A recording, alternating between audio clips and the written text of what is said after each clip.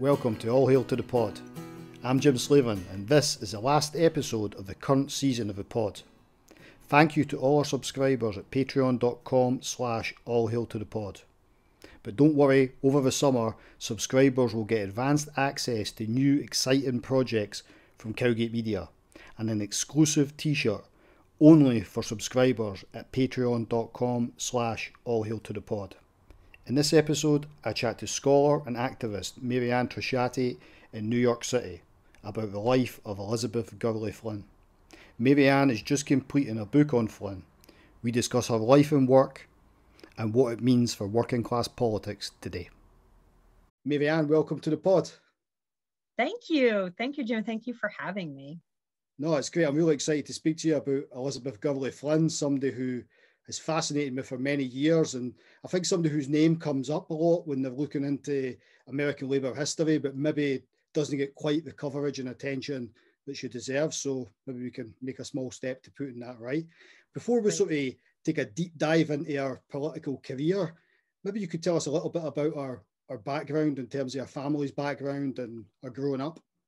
Yeah, well, she was born in 1890. Uh, so she's uh, in some ways a product of the 19th century and Concord, New Hampshire, but then her family moved to the Bronx.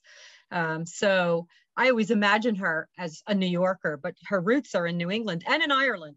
So her dad uh, was Irish American. Her mom uh, was Irish, Annie Gurley, uh, a feminist. Uh, both parents were supporters of the Irish struggle for independence. And um, she is related too on her mother's side to George Bernard Shaw.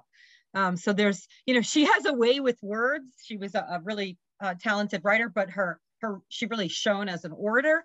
Um, and you can see, I, you know, I always think, well, of course she's related to George Bernard Shaw, and then her her um, nephew Peter Martin is one of uh, the founders of uh, City Lights Bookstore, which is an extraordinarily important and popular independent bookstore in San Francisco. So she's got, you know, this this uh, this kind of uh, legacy and lineage of eloquence, both in print and in speech. So it's really kind of cool. And she also, I mean, her political career as an activist began really, really early. Obviously, she was, we'll get she was famously called the rebel girl, but I mean, she was an activist, um, including coming to the attention of police and what have you at a very early age. Could maybe say a little bit about that because that's it's unusual anywhere, but in, in that time it was especially unusual, I think. Yeah. So, you know, it's like, um, she kind of was she was nourished intellectually on uh, radicalism. You know her dad would bring her to socialist meetings and she absorbed all these things. She was a silver medal debater in high school. She was by all accounts everyone i've spoken to said she was just a really she was she loved life but she was a really serious about her politics. And um, she started her activist career when she was a teenager, uh, barely 16. In fact, I don't think she was yet 16. She gave a soapbox speech in um, in New York City and was arrested uh, for blocking traffic.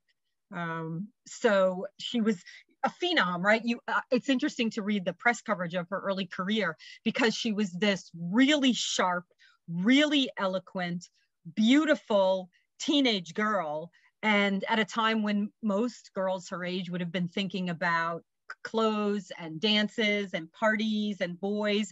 She was up on a soapbox talking about the need for a socialist revolution. And people ate it up with a spoon. Um, you know, coverage, press coverage of her early speeches. I think this was both a blessing and a curse because, uh, and, I, and I, let me explain what I mean. So press coverage of her early speeches, she's raven haired and beautiful with a small waist and uh, you know this militant attitude and and actually someone wrote to her years later um, that they still remember her giving a speech, and this is even when she's she's a bit older, um, giving a speech in which she raised her hand, and she would do this thing where she would hold her hand like this and talk about. She learned this from Big Bill Haywood, another activist, that you know this is these are working people without solidarity, right? But this is how we want to be together. And someone recalled to her in a letter, you know, in his 80s, that he still remembered her holding up her hand, and it was the most beautiful hand he had ever seen. So part of the pack package was her femininity and you know that she was this badass in this very beautiful teenage package of course we know that only lasts so long right when she's an older woman we i you know i read these accounts then of they're very, very, very different because she can no longer, she is no longer the rebel girl, right? That's a moniker that really is applicable to a young woman. Um, but it certainly, it certainly brought her uh, audience. Um, it brought her renowned, um, but it was well deserved, right? I mean, she used, I think she used her femininity um, to great advantage as a young woman, um, but it was her brains and her eloquence that really uh, kept the audience. Um, if her looks brought them, her arguments uh, kept them. And I think it's quite interesting to contrast that the, this young, attractive, eloquent woman who's um, getting involved in this type of political, radical, revolutionary political activism.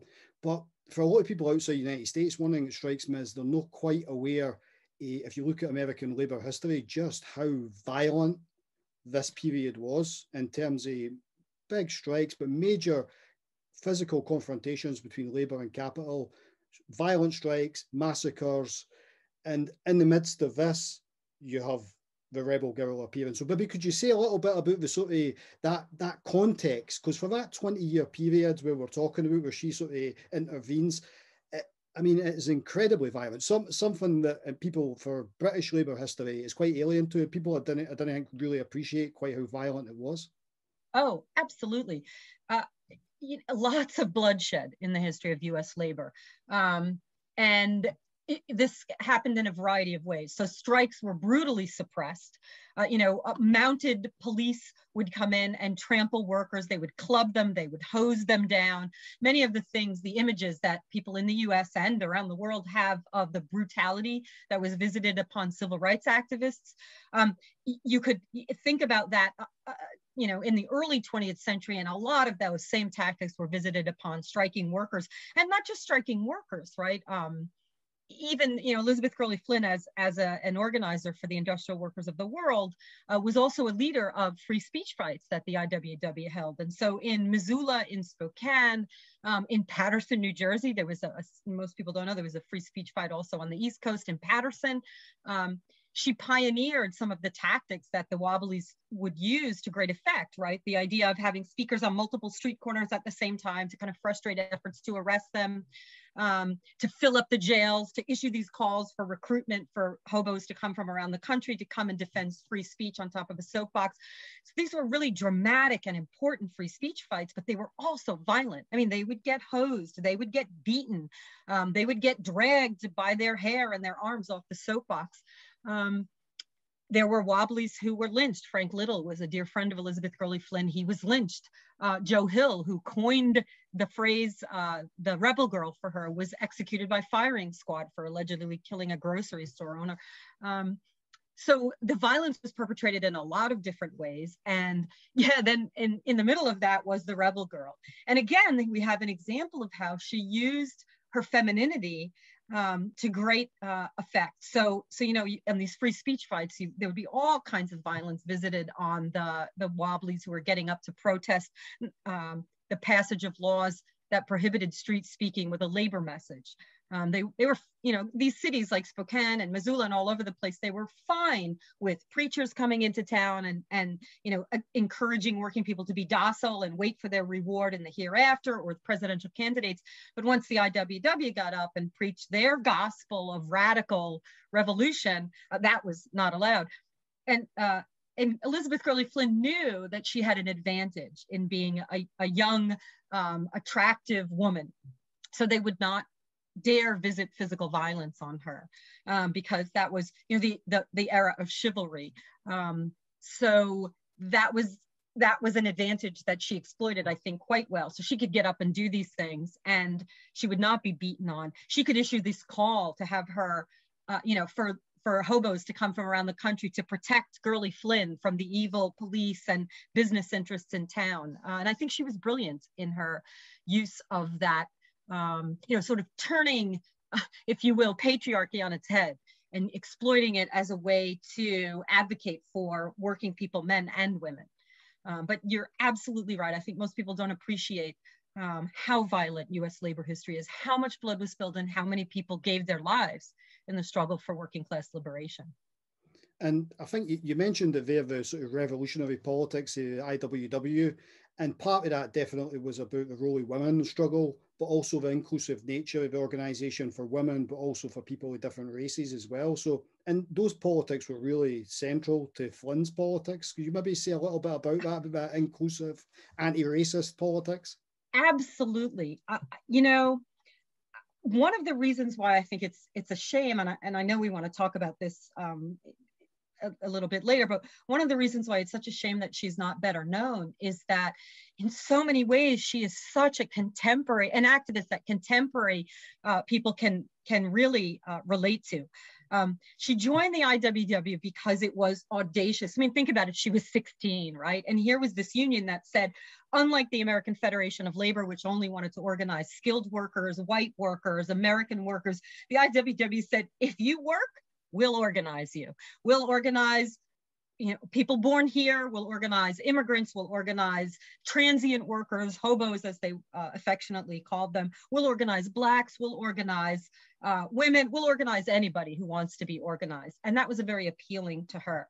Um, as a as a young person, her uh, her home was filled with activists like James Connolly, for example, who instilled in her the or helped her, I think, to really I don't know that he instilled it in her, but who really helped her to appreciate the extent to which the struggle against colonialism, the struggle against racism, uh, the struggle against imperialism was intimately tied up with the struggle for working class liberation in the US and everywhere. So she made common cause uh, from the very beginning of her activist career with, with, you know, with with people in the struggle against racism, in the struggle against imperialism, in the struggle against sexism. She did not believe that suffrage was going to set women free. Um, she actually gave several speeches where she said, you know, we don't we don't want to be the tail on the suffrage kite.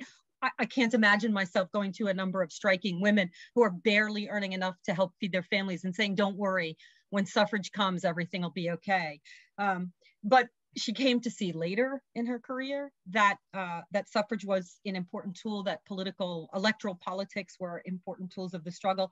But from the very beginning, she understood that um, a struggle to liberate working class people had to be simultaneously a struggle to liberate women, a struggle struggle to liberate blacks, a struggle to liberate anyone who is suffering the yoke of imperialist oppression anywhere. Um, and she continued that throughout her life her uh, her anti-imperialist work is is I think uh, underappreciated and really uh, important. Again, it was shaped by her relationship with Connolly um, and uh, her relationship with Jim Larkin, her support for the Irish freedom struggle, um, and in New York uh, in the 1920s, the struggle for, or actually around the time of World War One and into the 1920s, the struggle for Irish independence and Irish, uh, you know, the creation of an Irish, uh, uh, free Irish nation was an inspiration to Black activists, um, to Indian activists, to Mexican activists, and and Flynn was there.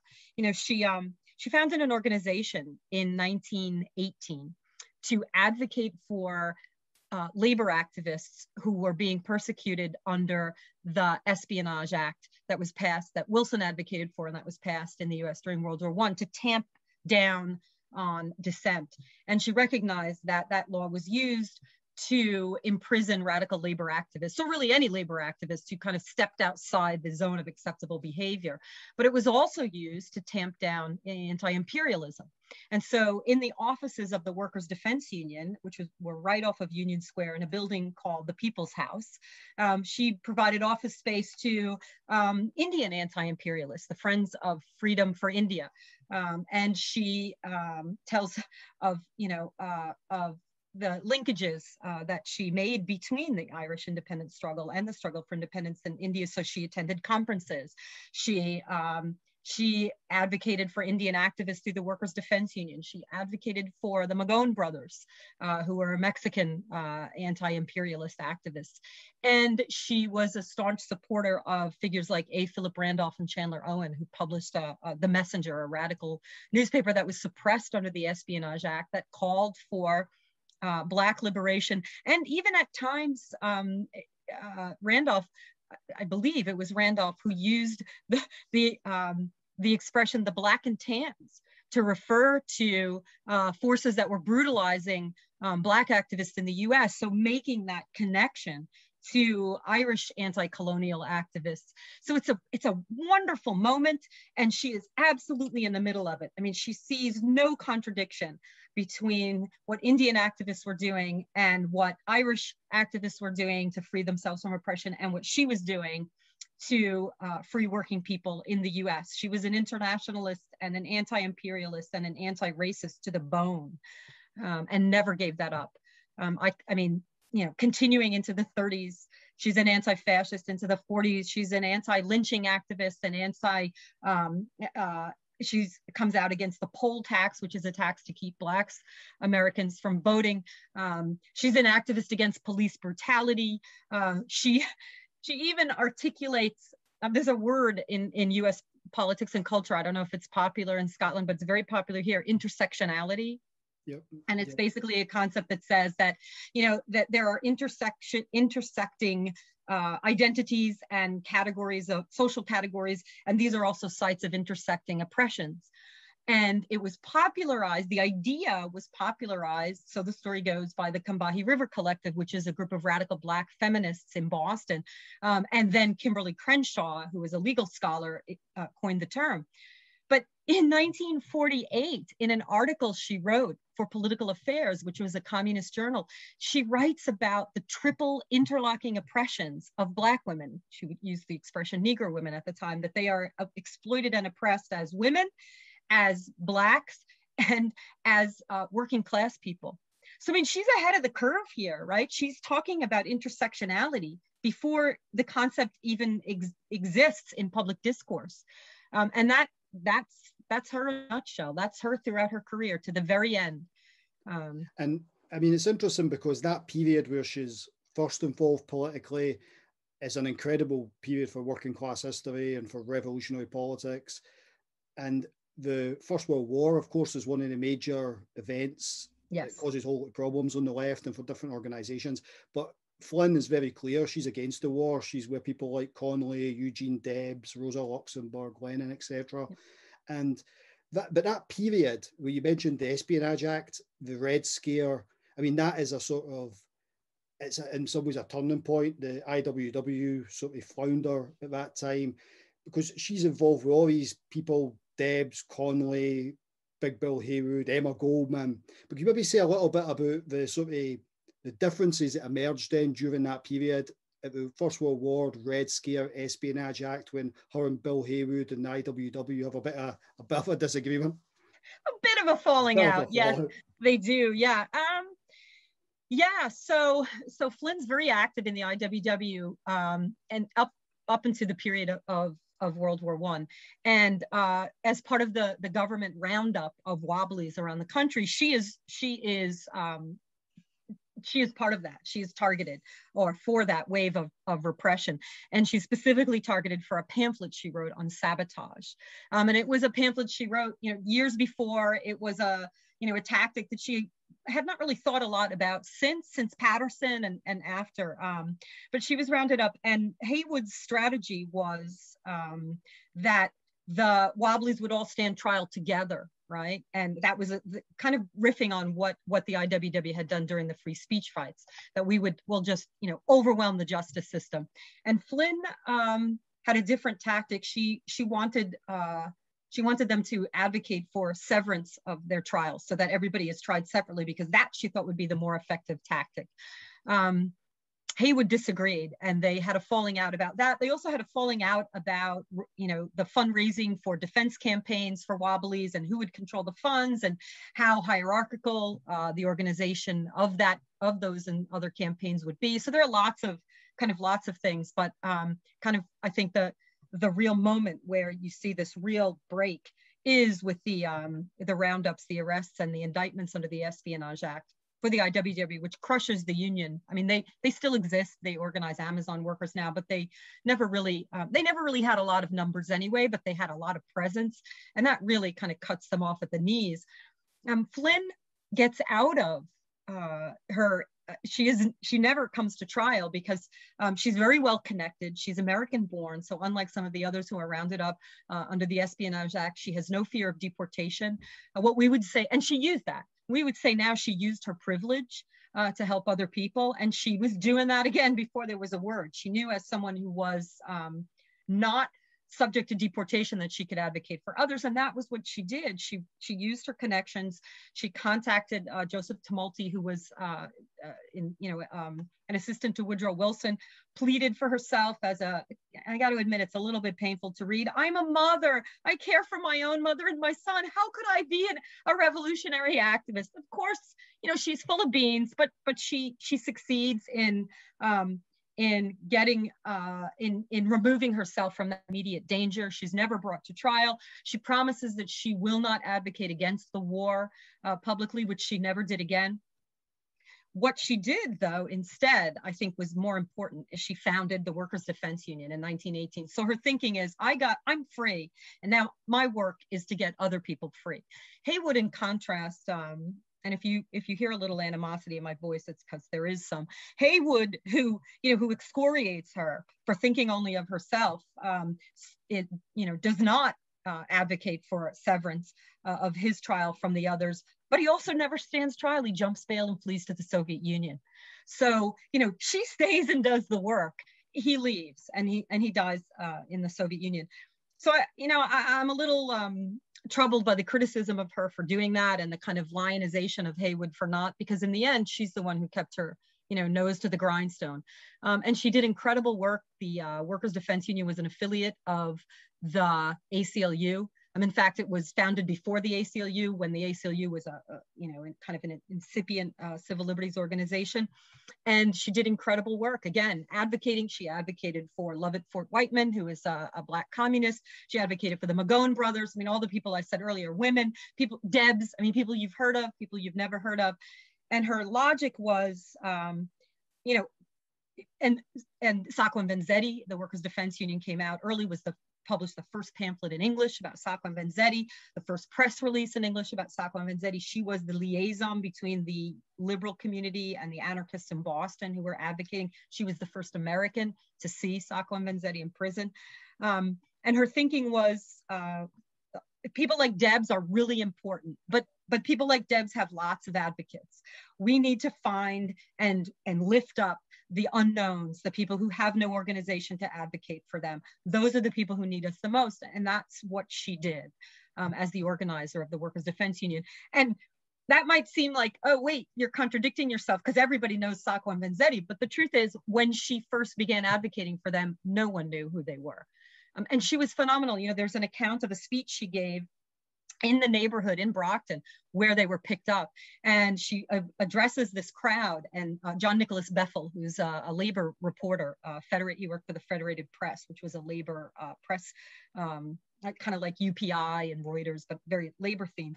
And Beffel has this eyewitness account that, that he uh, constructed and said, you know, she started talking to this crowd and, and nobody was sympathetic to Sacco and Vanzetti. And by the time she was done, they were cheering the anarchists and booing the police and, and making contributions. And that's the kind of um, continued agitation that she did and then you know lifted up for other people to do that transformed them into internationally known figures. But when she started, they were completely unknown outside of that anarchist circle. Um, and that was her commitment. And something you said there strikes me as quite significant that she's American so people like Emma Goldman and what have depart are uh, deported, but also the it, it's it's possible for the state at that period to say that communism, some alien mm-hmm. ideology being imported into America, it's un-American. But then Gurley Flynn is American. She is the rebel girl.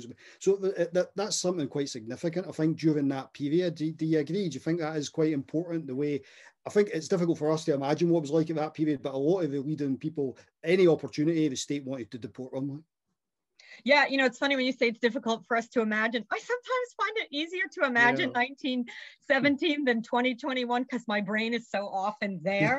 but you're absolutely right. I mean, I, I have a lot of respect for Emma Goldman, um, but uh, you know, Goldman was vulnerable as um, as uh, an immigrant, and she was deported uh, with Berkman on the Buford, right? The Soviet Ark, um, they called it, uh, or the Russian, I think it was the Soviet Ark. Anyway, um, yeah, and and Flynn was not. She was not uh, vulnerable in that way, um, and and she definitely exploited that. As I said, she, what we would say now, she used her privilege, but but it's also symbolically very important, as you rightly pointed out, because she gave lie to the argument that we don't we don't give birth to radicals here in the US, right? If people are radicals, it's because they, you know, they came in from Europe that way. We know, and you know, even Sacco and Vanzetti, they weren't radicals when they got here. They were radicalized by what they witnessed here in the US. But the argument nonetheless was made, well, they were Italians, of course, they're gonna, you know, subscribe to these alien ideologies, and in their case, anarchism. But you couldn't say that with Flynn. She's born in New Hampshire. She lived in the Bronx, right? She tried and she loved the US. She loved traveling around. She loved the West. I mean, she loved when she was out in Missoula and Spokane. It was just extraordinarily beautiful and, and really moving to her. And so, you know, I, I wrote the foreword to uh, the reissued uh, prison memoir that she wrote when she was at the Alderson Federal Penitentiary for Women. And the first sentence of it is Elizabeth Gurley Flynn is a bona fide American radical. Um, so is the IWW founded in Chicago, right? I mean, the, uh, the IWW is a global organization, as the name suggests, um, but it's a very American organization at the same time. And, and that's Flynn. She's an internationalist. Uh, later on, you know, she travels to the Soviet Union. She actually dies in the Soviet Union, but she is first and foremost an American radical. And, you know, the, the left in the US right now, there's a lot of rightly so, disillusionment with the, the American project and you know the ideals uh, that the U.S. Uh, articulates. We so frequently fall short of them. But Flynn is one of those radicals um, who never ceded the language and the symbolism of America. When she was up on a soapbox in the free speech fights, she's quoting the Declaration of Independence. When she's, you know, leading the campaign to free imprison radicals under the, you know, arrested and indicted under the Espionage Act. She's using the First Amendment. She's using the language of Lincoln and Jefferson, and she refuses to let go of that. I mean, this is her political tradition as much as it is the tradition of those who wish to oppress working people. She never gives up one ounce of ground. Um, and so I think that's a really important point uh, that, you know, we can't say that she's a foreign import because she's as American as apple pie. And there's you mentioned our, our second autobiography. She very helpfully has two autobiographies, one dealing with the rebel girl years and then the other one dealing mainly with her period as a political prisoner. But if if and it might not be right, I'm interested in if you think it is right, but there's there's a break in between where she goes to Portland and she takes a break for politics completely.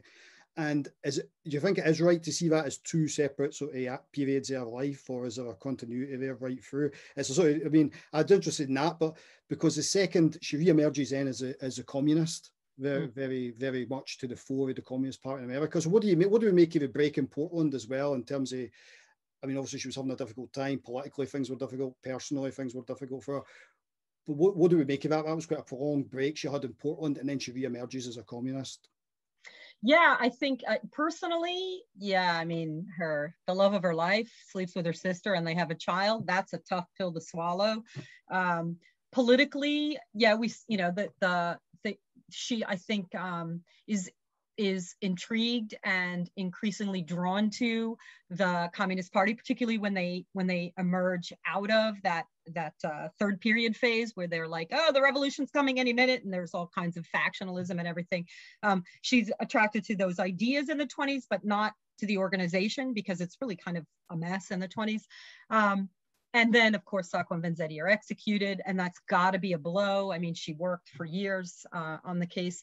Um, yeah, I do think it's there. And Flynn, I thought of her life as, I mean, the first, uh, you know, the Rebel Girl, an autobiography, My First Life, right? And she also changes ideologically.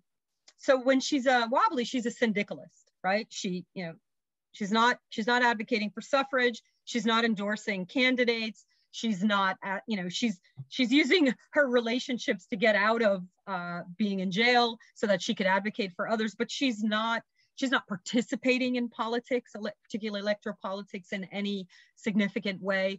Um, but then we see a shift, right? She's in Portland for about 10 years. Um, her family and her friends back east are really concerned. Uh, Carlo Tresca is concerned at one point. He even, you know, he says, look, I can get you a job uh, with the Anti-Fascist Alliance of North America if you want to come back. And she, you know, no, she can't deal with it. Um, she doesn't want to deal with it but she's changing also politically. So she jumps back in, she comes back east in the 30s, and it's a perfect time for her. It's the, the period of the Popular Front and Flynn is an alliance builder. I mean, she the, the organizations and the individuals that she gets to sign on to, the campaigns of Free Sacco and Vanzetti, for example, is nothing short of extraordinary. You know, anarchists to the AFL, um, and that's for anybody who knows the history of labor on the left, that's a huge chasm that she can bridge. Um, she's really good at that. And so the Popular Front period appeals to her. Um, this notion that we're going to unite in, in our efforts against fascism. She's been an anti-fascist since the, the 19, early 1920s. In fact, she's one of the first uh, English speaking members of Antifa uh, when it's mostly a bunch of Italian radicals that nobody's paying much attention to because, oh, Mussolini, isn't he this dashing person? Oh, those Italians, don't they need somebody to teach them law and order? And she sees right through it. She sees it as an existential threat to democracy. She sees the relationship between racism and fascism. She calls out the KKK uh, as an American fascist organization. And really, not many other English speakers in the US are doing that. Um, and so the CP in the 1930s is, uh, you know, they are absolutely anti fascist up until the Nazi Soviet Pact, where they're still anti fascist, but they kind of mute the rhetoric, right? Um, and and that appeals to her as well. Um, it's the it is like the IWW was when she first joined. It's where the cool kids are going, um, and she is also, I think it's important the personal aspect of this. You know, she her her life kind of falls apart in 26. She goes out west. She's in this relationship with Marie Equi, who's a fascinating figure. Um, but it's it just it's not where she wants to be, but it's where she goes after a while, right? But it's where she needed to be to lick her wounds. She sees all this stuff happening in the sit down strikes, all this stuff happening um, in labor and in radical circles, and she wants to be there. So she comes back to New York and she is warmly received and she has community again. And that's really important for her. Um, she takes a lot of flack for it. You know, she writes a column in the uh, in the Daily Worker soon after she joins the CP, where she met um, she met an acquaintance who uh, said, "Oh, you know, where are you coming from? And she said, oh, I just gave a speech. And oh, what was the speech for? Oh, the Communist Party. And, and just, he rips into her. So she pays a price for that um, because, you know, leftists who are anti-communist, either liberals or anarchists or socialists or syndicalists, um, they don't understand. Um, but if you understand her psyche and her, you know, all the things that came before, I think there was no way she wouldn't have joined. She wants to be in the struggle. This is the train that's leaving the station and she is on it. And her first um, her first public event, just to add one final thing, as a as a as a member of the Communist Party, it's a rally um, in support of the uh, Abraham Lincoln Brigade, the volunteers who went to fight fascism in Spain. So her her coming out, her debut is at an anti-fascist rally. Perfect.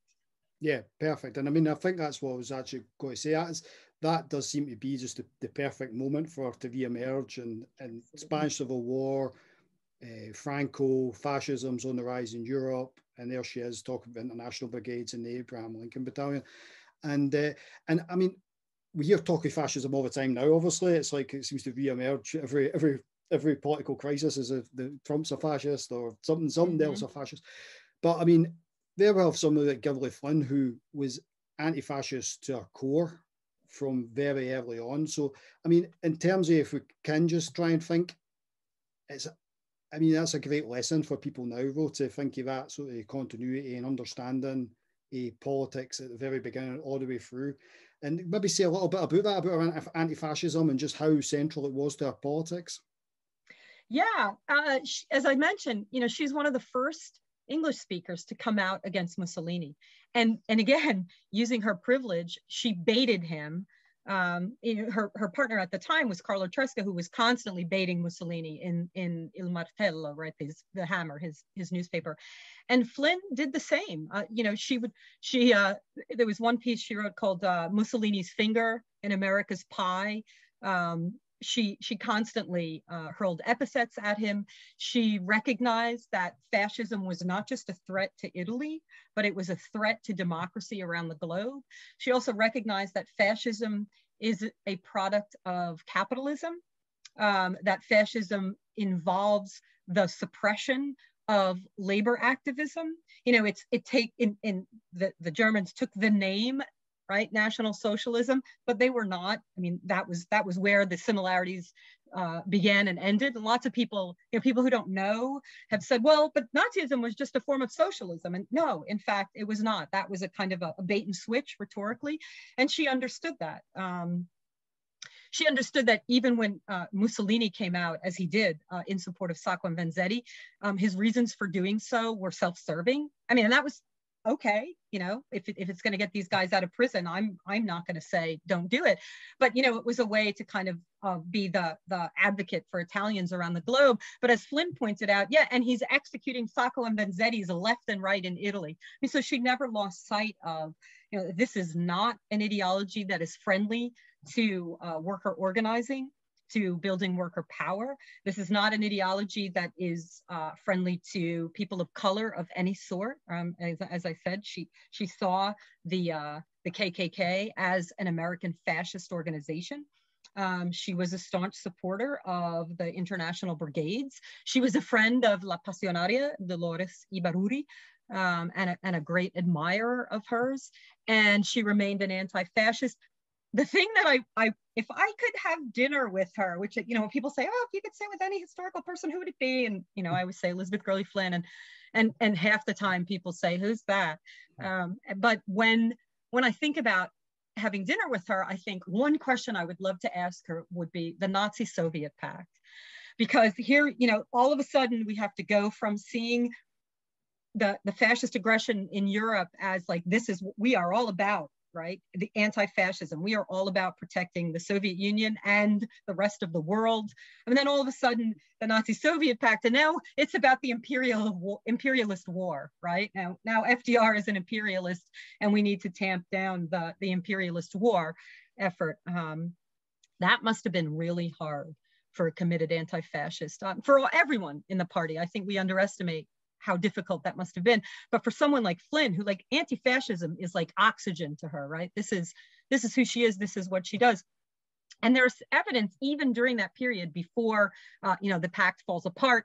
Um, between when it's signed and when it falls apart, you know, there are a number of nefarious laws that are proposed in the US. The Smith Act, of course, is passed. That's the act that that ultimately takes down the party um, and its leadership, including Flynn. But also there's another bill, the Hobbs Concentration Act bill, and it's a bill that basically would have set up concentration camps for immigrants in the US who couldn't be deported for whatever reason, like the situation at home did not make them deportable. And she called it out as a fascist law. Even during that period of the Nazi-Soviet pact, she, you know, she still continued to be an anti-fascist, but she was also a loyal member of the party. And so she was very careful about how she constructed her anti-fascism. But again, you know, once the, the pact dissolves, once once uh, Hitler invades um, the Soviet Union, um, all bets are off, and and she's you know back.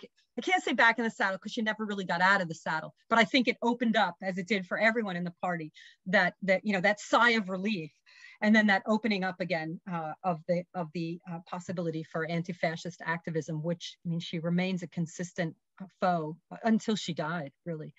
And um, could you maybe talk a little bit about this period in the Second World War is quite interesting in the sense of how the politics of that plays out, with laws that are brought in ostensibly to target Nazis, but then of course end up targeting the left.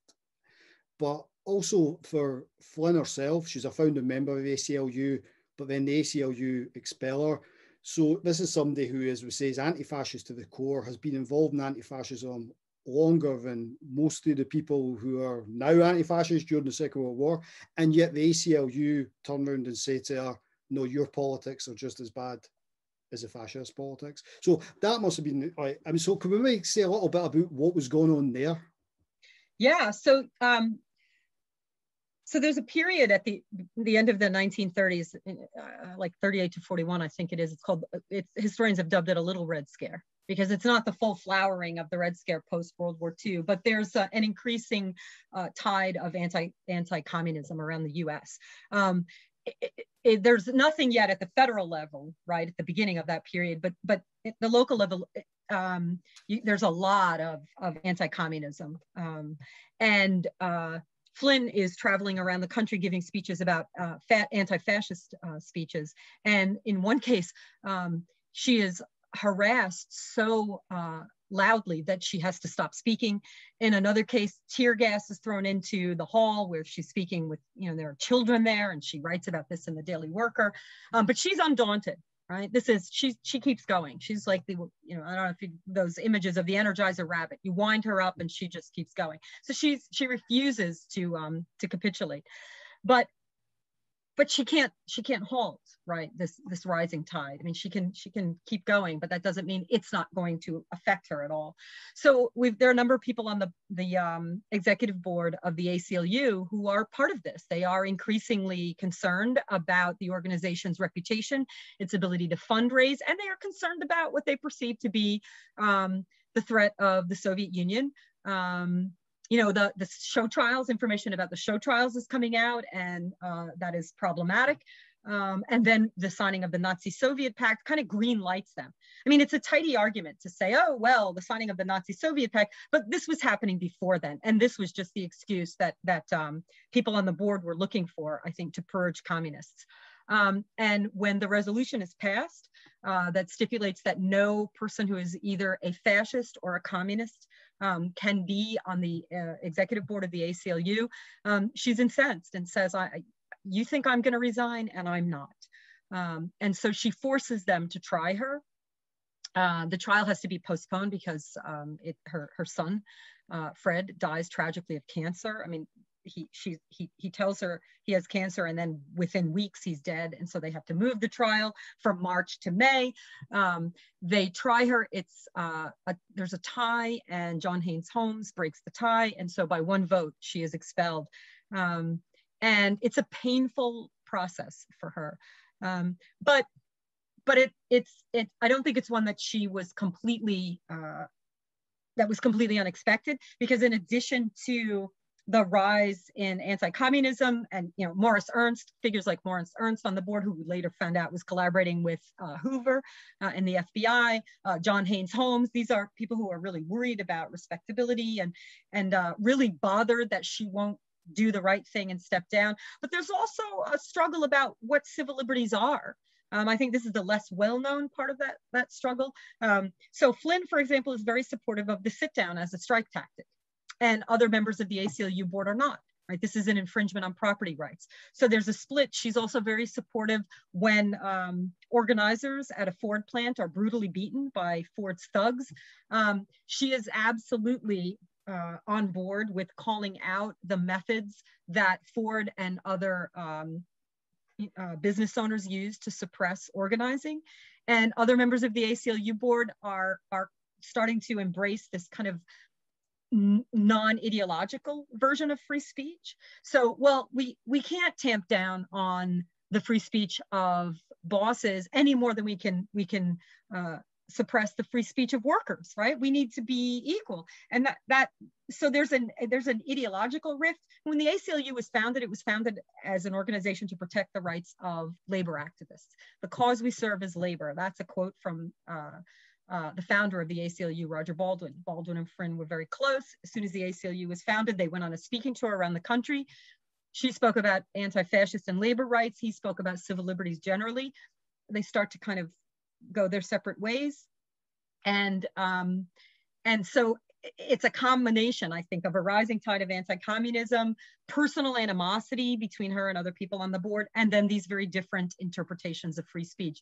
But the important thing I think to note, and I deal with this at great length in, in the book that I'm, I'm finishing up, is Flynn didn't change. It's the ACLU that changed. And they argued, well, you joined the Communist Party, and now we can't trust you uh, to defend the Constitution. And she said, I've been defending the Constitution since you, most of you even cared about the First Amendment, right? I've been doing this longer than just about anybody here. And can you point to one moment where I put the Soviet Constitution uh, which she actually quotes at length and says it doesn't suppress uh, civil liberties, or I put the interests of any other place on the planet before First Amendment rights in the US, and they couldn't. Right, so this really wasn't about, oh my gosh, now you serve a foreign power and a foreign ideology. This was, we don't want to lose donations. We want to be respectable. We don't like you anymore. And we are embracing uh, a different version of free speech than we had in the past. We are moving towards civil rights. Uh, we are moving towards a value neutral version of free speech. Um, and Flynn says that's that's that's that's insane. You know, Henry Ford and the people who work at his plant have are in such different material circumstances that to assume that that he and they share the same access to a platform or the same enforcement mechanisms for First Amendment rights is ludicrous, um, and they disagree. And I suppose with the ACLU being prepared to treat Flynn and communists in that way, that in many ways legitimizes other moves that are taking place against the left at the same time, including the Smith Act then and ultimately the trials. Can you maybe say a little bit about that? Because um, Smith himself, who proposes the act, is a Democrat, is that right? And the, and the espionage, of course, was Wilson.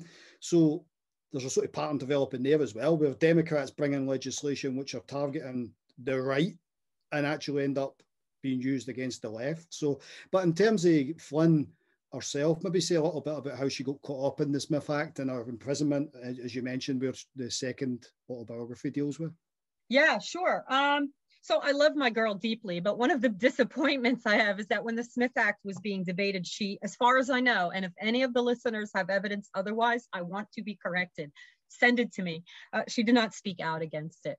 Um, she spoke out, as I mentioned, against the Hobbs uh, bill, which would have created these detention camps. That was actually an initial provision of the Smith Act. It was removed um, in debates in Congress. Uh, but yeah, it was it was proposed by um, a Democrat. Um, some of the fiercest opposition, by the way, to the New Deal came from Democrats. Uh, this illusion that Republicans are always the bad guys and Democrats are always the good guys, it's just not true. Um, so uh, the Smith Act was proposed as a way to protect the U.S. from uh, nefarious activities on the part of either the right, you know, Nazis. There was evidence that the Nazis were, there was some evidence that there was Nazi infiltration. It was, you know, it was a, an absolutely, uh, I mean, the evidence was there, but the, the, the, um, the Nazi infiltrators were inept and the, the, the, the trial went nowhere. Um, but like most laws in the US that target both left and right um, subversion, this one was primarily directed at, at the left. Um, just like no spies were convicted under the Espionage Act, there were no significant uh, indictments of uh, fascists under the Smith Act. Um, Flynn did not speak out against it. However, um, it's kind of an, a, legend that nor did the Communist Party. That's not true. Uh, the Communist Party was very active in their opposition, very vocal in their opposition to the Smith Act. They did not, however, testify in Congress. And I'm guessing part of why they didn't was um, for the optics of it, right? They, they um, to have Earl Browder, who's president of the CPUSA, I mean, um, uh, general secretary of the CPUSA at the time, um, may have felt that it would have done more harm than good to the opposition. Um, but they wrote editorials. Uh, they pressured Wilson, uh, Roosevelt not to sign the law. Um, but he did, of course. And the first, uh, and the only, by the way, the only congressman who spoke out against the law and who actually led a campaign unsuccessful to repeal it was Vito Marcantonio the other socialist congressperson from the Bronx before AOC. Um, actually, he was from East Harlem, sorry, from New York. Um, but uh, um, the first Smith Act prosecutions were directed towards the Trotskyists, who were the enemies of communists. Uh, and uh, sadly, the, the CP did not stand up for the Trotskyists. They, they, you know, they were uh, very deeply involved in the leadership of a Teamster uh, local, and the the a number of anti-communists in the Teamster local wanted them out, and so they actually colluded with the federal government to provide evidence uh, that would um, that would allow for an indictment of uh, a number of Trotskyists in the Union uh, under the Smith Act. And it was a it was a, uh, an indictment of uh, that re rested on books, basically literature, um, to make the case that, and in fact, they didn't even have to make the case that the Trotskyists were conspiring to overthrow the government by force, because that's what the Smith Act did. It, it made it illegal to um, to advocate the overthrow of the U.S. government by force, and it also provided for uh, uh, registration of all uh, resident aliens in the U.S., which then, of course, was the ammunition that was needed to round up the Japanese later on. But anyway, um, the the prosecution attempted to make the point that that there's a difference between um, advocating something and belonging to an organization, right? And that um, if there was the, that clear and present danger had to be uh, demonstrated, right? That they actually posed a clear and present danger to the social order and the government of the US. And that was struck down. So all they had to prove was that the Trotskyists had conspired to advocate the overthrow of the government. What does that mean? Right? It means whatever you want it to mean. So the prosecution was successful in uh, securing convictions. Um, again, Flynn did not speak out against the law. Um, it was less than a decade later that uh, the law was turned on the leadership of the Communist Party. Um, and she chaired, uh, she was very involved in the Smith Act defense campaign um, and was very vocal in advocating for the rights of all Americans, whatever their uh, politics, to hold whatever ideas they wanted and to be members in whatever organizations they wanted. Uh, when she was indicted under the second uh, round of indictments, she and Claudia Jones, who is a, a, a younger woman, a very dear friend of Flynn's, a Black uh, activist, and uh, a number of others, um, she acted as her own counsel. It was really difficult. And she, she talks about this in the prison memoir. It was really difficult for communists indicted under the Smith Act to get legal counsel um, because uh, people feared that their reputations would be ruined. Either they were themselves anti-communist or they feared uh, being red baited um, and losing professional status and uh, clients and possibly being stripped of their, you know, of their credentials and so it was really awful. And she advocated for herself and gave uh, what I think amounted to a brilliant defense um, of the rights of, of uh, civil liberties, uh, of, the, of the need for civil liberties for communists and all um, political actors uh, in the US. Um, but to no avail, of course, she was uh, convicted and, and served time at the Alderson Federal Penitentiary, um, where she considered herself a political prisoner. And I think that's an important point. Uh, from the very beginning, from 1918, when she founded the Workers' Defense Union, until she died, Flynn argued uh, regularly that the US needed to uh, create a political prisoner status, to recognize that people are thrown into jail sometimes because they commit antisocial acts, you know, they commit acts of violence for no good reason. Um, although she did hold, and if you read uh, My Life as a Political Prisoner, her memoir, she, she has very forward thinking ideas about who commits crime um, you know, about substance abuse as a disease, not a moral failure, um, way before her time, about poverty and the despair that comes with poverty. So even people who commit, you know, actual criminal acts, very often it's the system that fails them, not them failing the system. But she also observes, I think rightly, that some people are tossed in jail because the government decides to criminalize whatever politics they have and then say, oh, see, they're criminals. And she said, you know, we need to recognize that there's such a thing as political prisoners. Um, the US has never done that. And uh, when she was in Alderson, she insisted that she and the other members of the party, Claudia Jones and, and others uh, before her and after her, well, no, not after her, but before her, uh, they were political prisoners.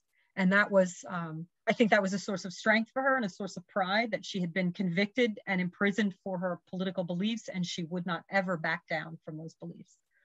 Yeah, absolutely fascinating. And, and she spent over two years in prison. Is that is that right? Over two years in prison. Claudia Jones is then um, uh, deported as well. Is that is that? Yes, yes. There have been efforts to deport Jones in the 40s, and Flynn was uh, an outspoken advocate for for her. But yes, uh, Claudia Jones is um, is uh, released. She's not well, she's unhealthy.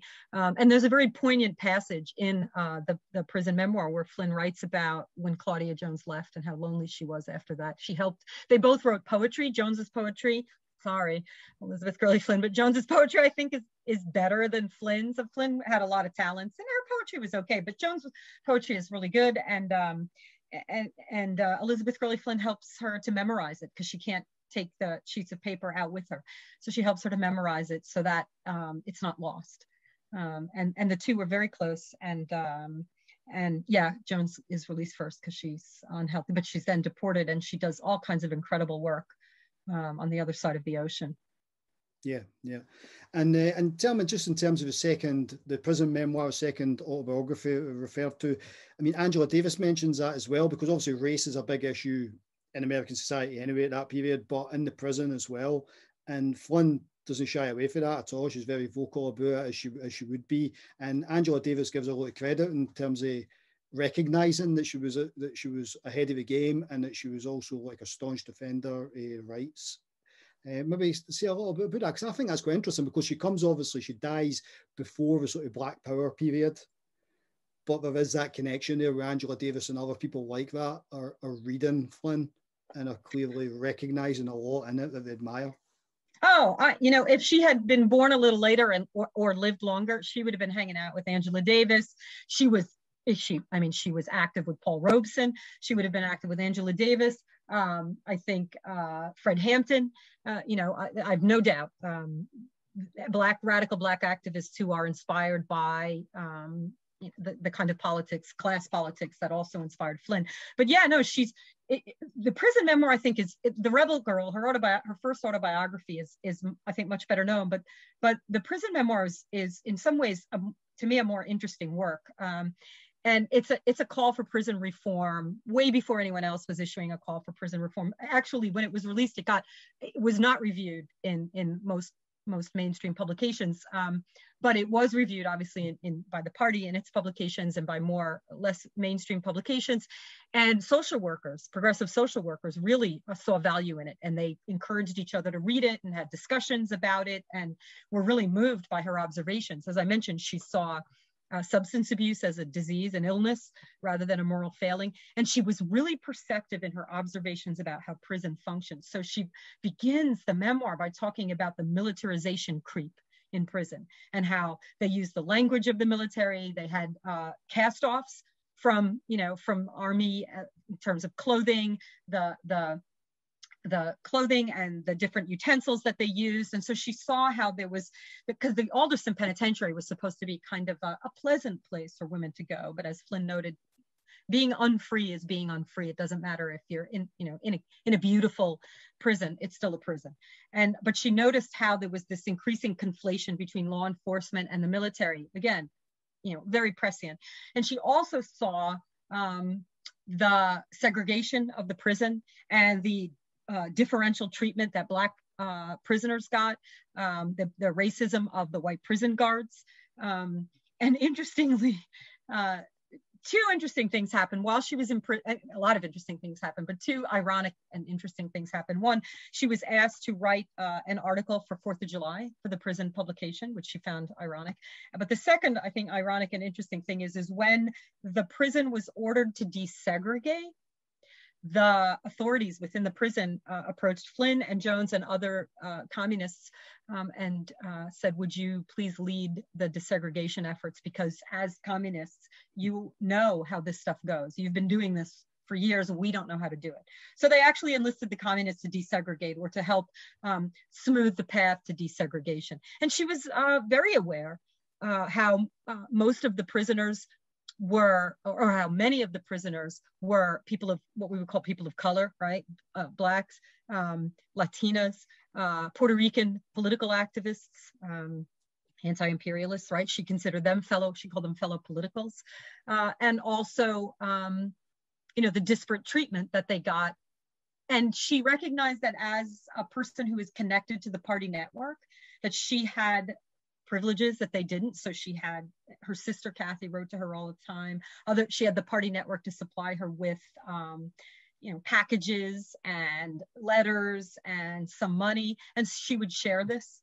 Uh, she asked people, for example, to write her cards, to send her cards, but she would then um, give them to the other prisoners so they had pretty things to hang on their walls. She would share whatever she had with the other prisoners. So again, what we would call using her privilege to help others, um, but very, very conscious of the racism there and um, willing, I think at a lot at a time when a lot of uh, other women, white women uh, would not have been willing, willing to talk to the black prisoners, willing to listen to the Black prisoners, willing to help them uh, with, uh, you know, to calling out the racism that they experienced. I think her very close and very uh, mutually um, respectful relationship with Claudia Jones um, inspired uh, prisoners to see that she was a, a, woman who could be trusted, a white woman who could be trusted. Um, so that's a really wonderful part of the memoir to, to read that. And I think the, the piece by Angela Davis um, really it's wonderful to read because she recognizes that this is one of the few white women and, and the black prisoners trusted her because they saw that she was committed this was a cause that she believed in it, she was not performing this right she was this was who she was yeah no i think i think you're right i think that is a sort of important act of, sort of solidarity across you know barriers of color and you know mm-hmm. generations and whatever um i mean just one i mean we were just thinking about that period where she's in prison, she's a political prisoner, but she's an older woman by that stage. She's no rebel girl anymore. She's an older woman. But I suppose people listening to this won't be surprised to know that when she gets out, her politics are completely, you know, undimmed, and she continues to be a political activist. She stands for the council in New York as a communist, and was it 1957 or so, and she travels to the Soviet Union where she dies. So she continued you know, the prison experience, even as older woman, suffering that. It didn't it didn't make any difference to her. She got out and continued her activism uh, as she had the rest of the rest of her life. So and she dies in the Soviet Union. Maybe say a little bit about that. She's traveling there, but I mean, it becomes a big deal. She gets a state funeral in Red Square, etc. Yeah, she is also elected first female chair of the Amer- of the Communist Party of the United States, right? And a, a lot of uh, people have looked at Flynn's communist years and said, well, she was, you know, she was a figurehead, she was a symbol.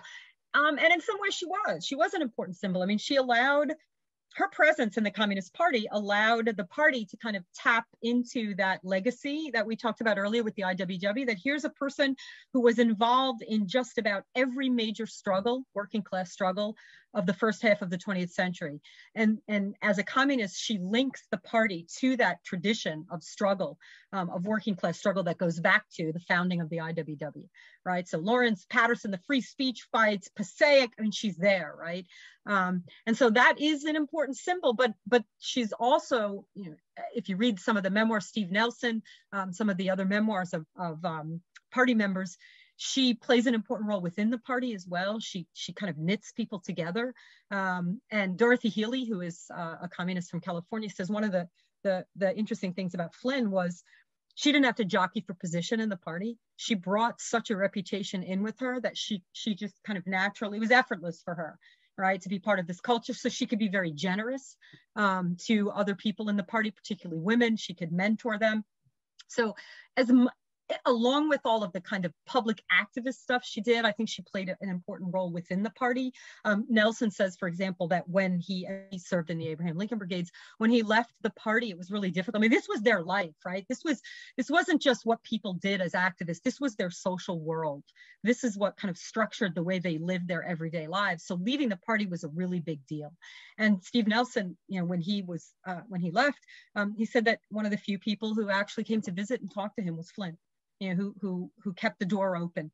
Um, so she was very important internally in the party, um, but absolutely, you know, she, she remains um, visible. She remains active. Her passport is, is uh, rescinded and she fights along with Aptheker. Paul Robeson had his passport uh, taken away also, and she fights for her right to travel again. Um, and, and interestingly, what she does when she travels is so she goes, she travels, you know, she went, um, she traveled a few times. She, she never went to Ireland, which I always found kind of interesting. Um, but she she uh, does go to the Soviet Union. Uh, she goes to Eastern Europe. She uh, and she comes back and talks about what she sees in these countries. And so she's she's not just going for edification, right? Like, oh, I'm, this will enrich me as a person. She comes back and she's speaking about the rights of women, the rights of minorities in communist countries. And so she's using uh, her travel as a way to educate uh, and active activate people. Um, she never stops being an activist. And uh, yeah, she's really well received in the Soviet Union. Uh, she dies there. Uh, she is given a state funeral, but um, as her first biographer, it's not a full-blown biography, but Roz Baxandall writes, it, it, there's something kind of poignant about that though, that she dies there um, because she's a, she is a quintessentially American activist. Her ashes are back here. She's in the, the cemetery with the Haymarket martyrs um, in Chicago. I actually uh, made a point of visiting there, um, and her her her grave marker uh, refers to her as the rebel girl, um, and that's I think where she belongs because uh, she saw great promise in the Soviet Union, and when others, you know, after 1956, when other people lost lost, I mean, they became disillusioned. Um, whether she did in her, you know, deep down inside, I don't know, but she never um, stopped acting as if uh, she believed. And, and I think, I don't think she believed so much in the Soviet Union, but I think she believed in the ideals of the Soviet revolution, just as she believed in the ideals of the US, right? What, what, what we could be um, and refused to be um, broken uh, by by the the reality of falling short of that those ideals. For her, the the the point is to always move towards those ideals right? To to never forget what they are and to and always to to um to work to to uh to rec- to realize them. I mean I, I can't i can't really can't say it any better than that. Um and i mean as we begin to think about our legacy something occurred to me when you were speaking there that about people saying she was just a figurehead or mm-hmm. just you know about symbolism or being head of the, in the Communist Party at the time. But I mean, a lot of criticism or, or sort of slights have been put towards of it. Or oh, she was, you know, the rebel girl, as or she was just um, an activist. Sort of, she wasn't very theoretical. Her books weren't very theoretical, and I think that's a sort of it's a really telling criticism, especially now where I don't know about in the United States, but in Scotland, the gulf between the left and the working class is massive. And it's partly because the left can quote Marx and Lenin, but they wouldn't dream of coming into a you know a working class area and, and to organize people. And it seems to me that it's a very telling criticism. Whereas actually, I mean, Gurley Flynn's life is an incredible activism that and and clearly smart, intelligent woman who goes through a whole struggles as a as a equal all these really famous uh, men and in Goldman's case women as well But what, what does it say about her legacy that people make that kind of assumption that because she was such an activist and a writer that maybe she wasn't such a strong thinker? Yeah, I've heard that many times. And as someone who myself is not very theoretical, um, for me, the value of theory is what, how does it help improve people's lives? And I think that, I think, you know, there's a saying that your research, you don't find your research interest, your research finds you. And, and I, I really feel like that that's the case with, with the work that, that um, I, I've been doing. Um, there's so much in Flynn that that is so um, relevant and relatable to to me and to and and as you said, I think to any activist who who never forgets that what really matters is advancing the interests of working class people, and she never lost sight of that.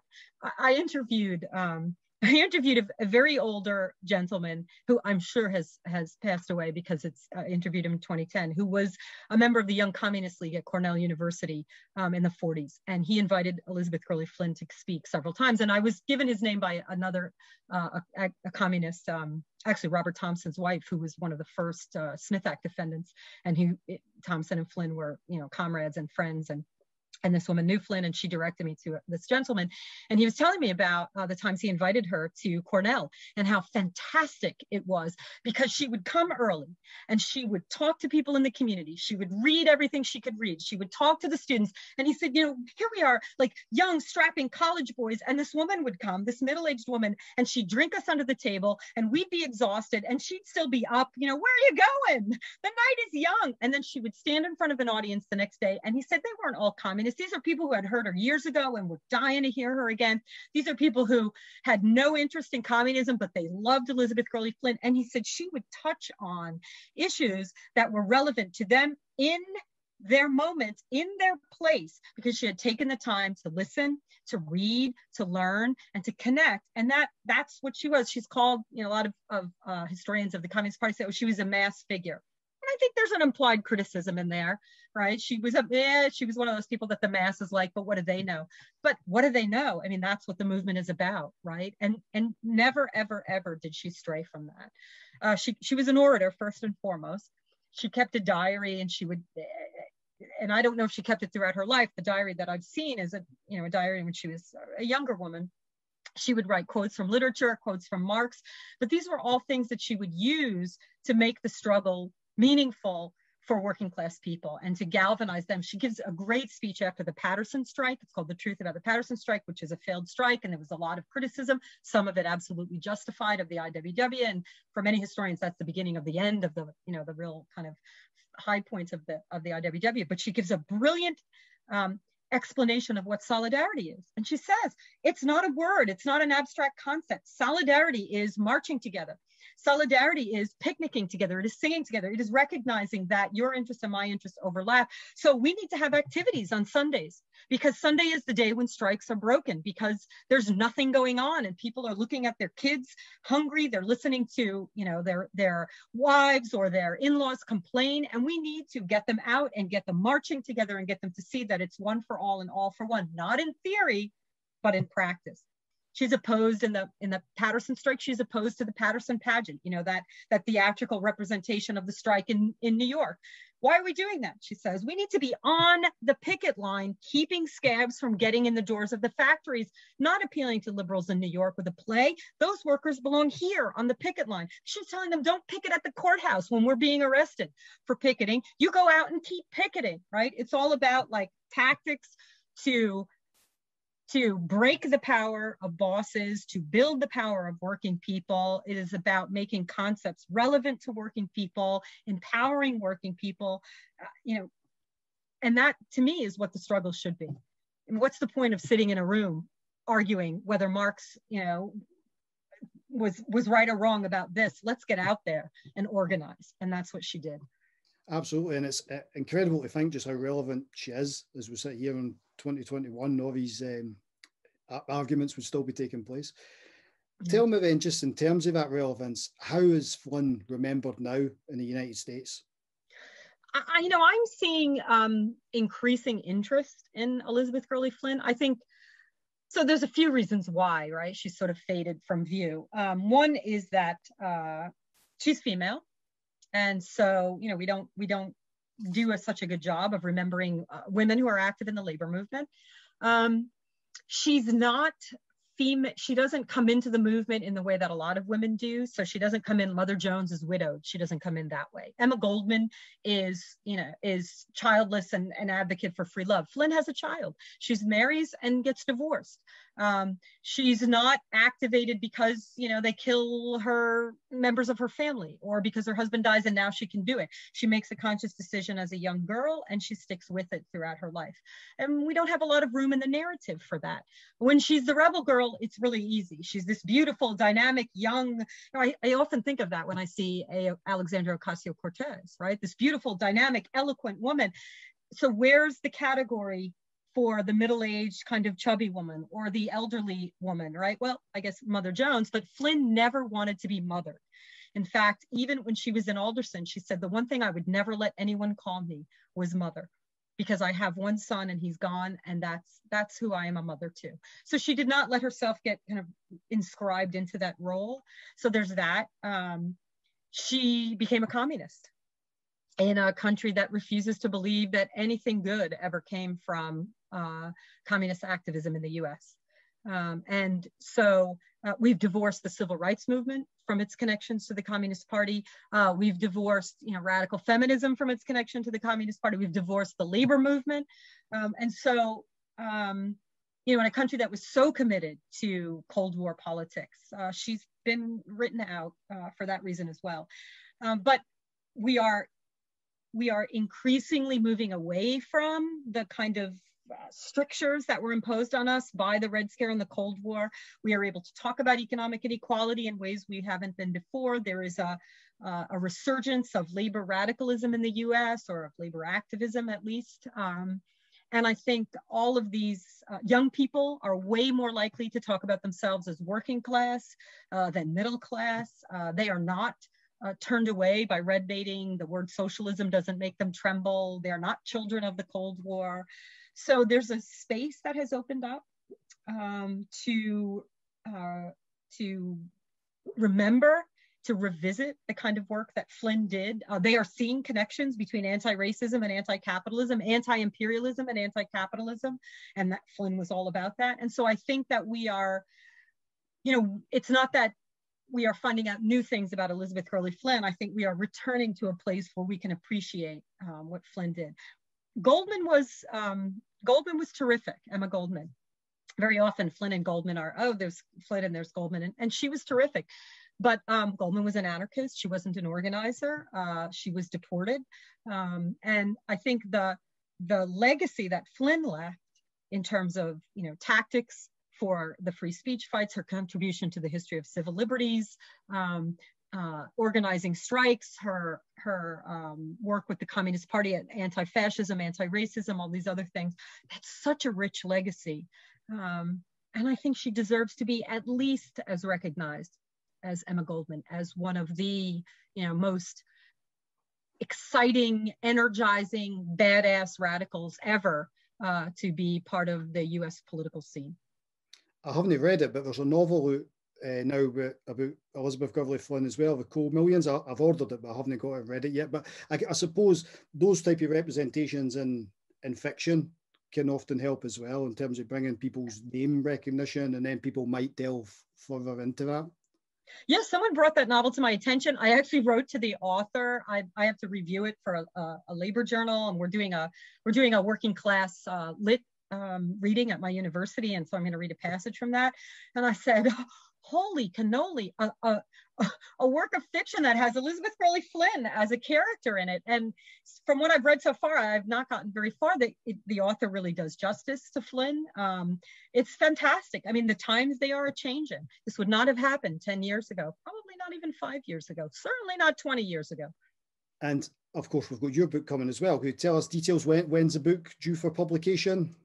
Yeah, uh, it's so it's going to be published with Rutgers University Press, and they're terrific to work with. It's been stalled by COVID. The archive shut down, and I still have some more archival work to do. So I'm hoping uh, to get it to them by the end of the year, which means it should be out before the end of 2022. Uh, the title right now is uh, "The Rebel Girl: Democracy and Revolution: Elizabeth Gurley Flynn's Work for Civil Liberties, 1906 to 1964," and um, it's essentially uh, it's a, a, biography of sorts, but what the through line is Flynn's uh, commitment to civil liberties. That's what connects her activism from that first time she stood on a soapbox um, in Times Square to her closing statements in her Smith Act trial. It's all about creating space um, for working class people to advocate uh, and to to you know, to be active uh, for their own uh, interest and for their own liberation.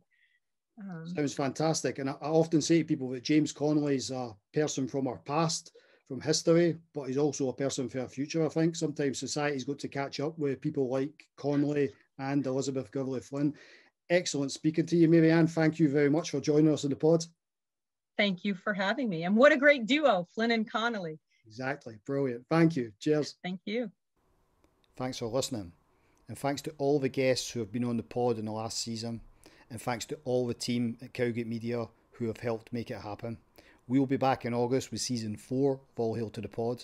In the meantime, you can listen to our archive wherever you get your podcasts. For more information, follow us on social media or visit 107cowgate.com.